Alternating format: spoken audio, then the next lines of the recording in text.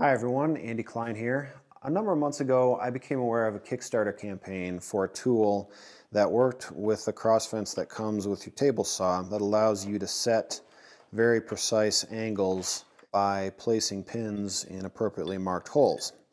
Uh, the, the idea is that you loosen the fence, it registers against the pins, and and sets your fence to a really precise angle since it's held since the the bar is held in place by this track, just like it'd be on the saw.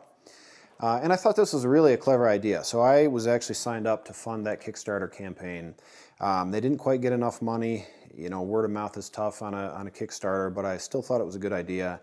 Uh, so when Jack Perry, who is championing this idea and bringing it to market, uh, contacted me to see if I'd like a set to try it out and talk about.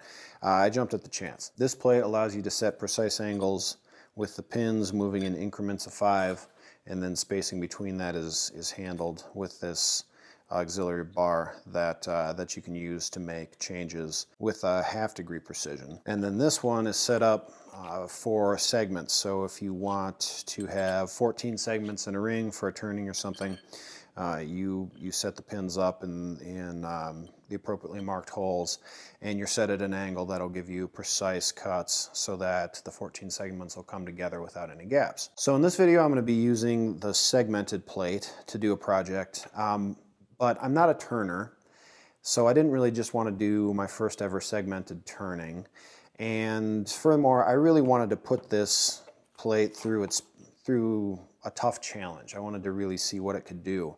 Um, so I selected a little bit different project that would be really, really challenging for this play to accomplish, uh, and here's why. So here's a segmented ring with all the angles on the segments cut absolutely perfectly. Now I'm just going to bump those in by 0.1 degrees on all the segments.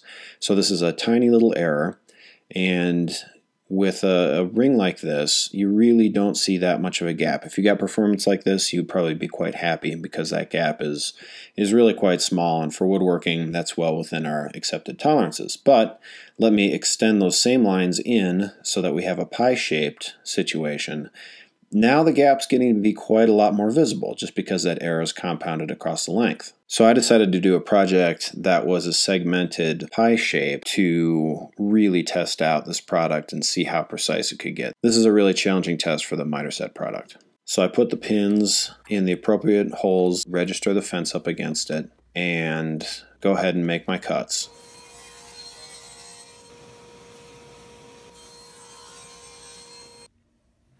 And after making nine pieces this way, it came together without any, I mean, really, really tiny gaps. You can hardly see any issue at all.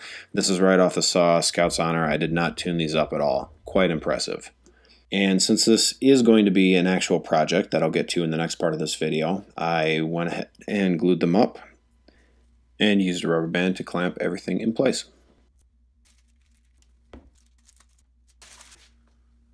So I was really impressed with how this performed. I continue to think this is a really cool product uh, and I, I, hope you enjoyed the video.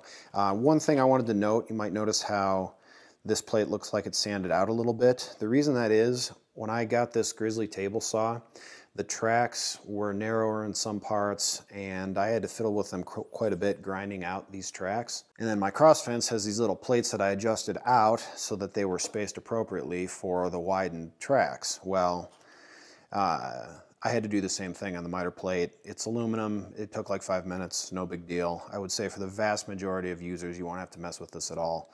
Um, but uh, that really ended up not being any problem. But I did want to mention it uh, in case you were curious why why it uh, looked like this. So if you're interested in either or both of these products, there's a link in the description where you can find the MiterSet website. So check them out and happy woodworking.